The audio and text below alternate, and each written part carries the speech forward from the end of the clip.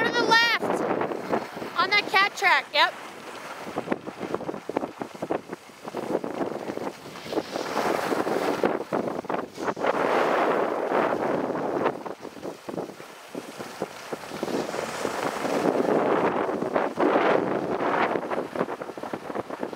And to the right.